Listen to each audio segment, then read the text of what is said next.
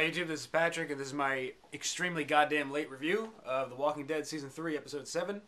I just finished watching it, because I missed it Sunday night, and then between work and my on-demand not working, and more work, and what have you, um, I missed it, so I'm sorry this is so late. Uh, it won't happen again.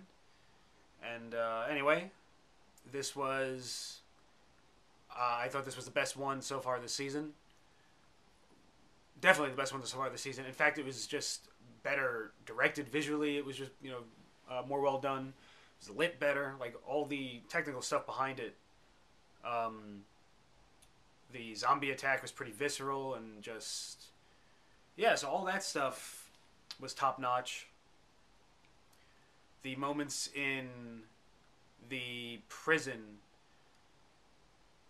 Um, after Michonne, who finally gets something to say, thankfully, and still hasn't, still doesn't really have much more of a, of a character than the the angry angry black chick right now, but um, at least she had dialogue, so that was a plus. And uh, the moment where Carol was back alive was handled actually much better than you know I thought. I was like, all right, Carol's back, but the way they handled it and um, the reaction to Lori being dead and how that's not gonna completely go away. Uh, it was just well done. It was you know emotionally well done, and then as was uh, Carl's talk with Rick about naming the the baby and everything like that. So you know, and it pretty much I guess sets up whatever for the mid season finale next week. I guess something's going to go wrong in the prison, so we're going to have that to be like the B storyline, where the A storyline would be uh, everything in Woodbury with um, Rick and crew showing up. So yeah, the stuff in the prison that's you know emotionally well done, and they got to move on quickly. Michonne didn't, you know, showed up in the prison at the beginning of the episode, and they were back at the at Woodbury by the end. So, you know, didn't get dragged out. Very good, very very good. The best stuff in this episode, for a change, was in Woodbury, and maybe well, it was better because of Glenn and Maggie, maybe more than anything else. But the um, first of all, the whole interrogation with Glenn and Merle is well done they're setting up Merle and Daryl, you know, meeting again pretty well. Um, yeah, uh, like all that stuff. The the fight scene where they let the, the zombie loose was just extremely extremely intense. It's just really well done, and uh, good work by the actor who plays uh, Glenn.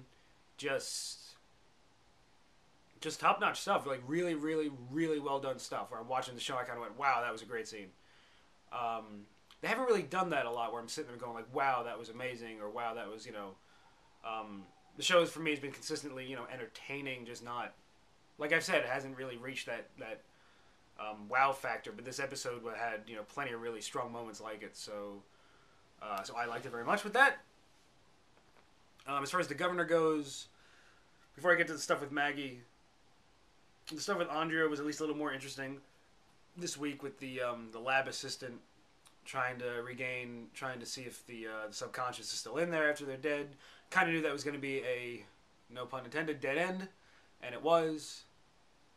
All right, so we sort of got an answer on what he's doing, but eh, I don't know, it was whatever. Um, it was more it seemed like more of a reason just to get Andrea out of the way while the governor could pretend to rape Maggie. So, yeah. Um, so yeah, it's after that. As far as the governor goes, I thought the actor that's played him for the season so far, you know, he's been fine, but they, again, they haven't given him, I think, really enough to do to really like you know, really put a stamp on the character. But this episode, he went into like full on evil mode with the, the scene with Maggie, and that that was just pretty intense, pretty messed up.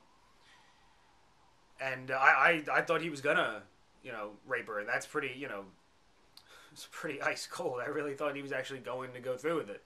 So, um, so credit there for that, for making me actually think he was going to do that.